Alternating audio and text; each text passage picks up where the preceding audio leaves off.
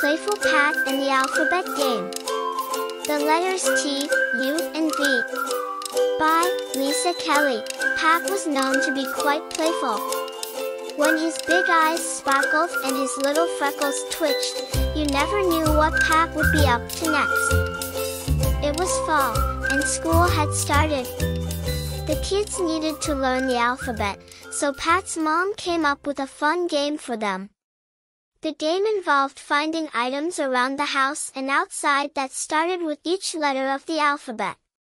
Today, they were going to learn the letters T, U, and V. Pat said, the table with the sandwich starts with T, and Shannon said, turtle starts with T, and I've always wanted a turtle.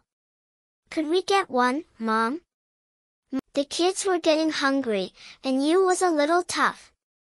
Until Mom said, it's something we can never find when we need it, and it's what outside.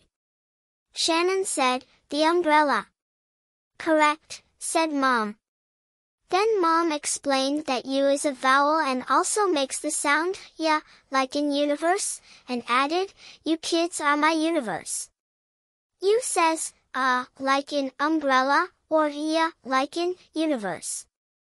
Pat said, we have a vase on the table for the flowers we gave you, Mom. Pat's mom smiled, she loved when Pat suggested to their dad to get her flowers.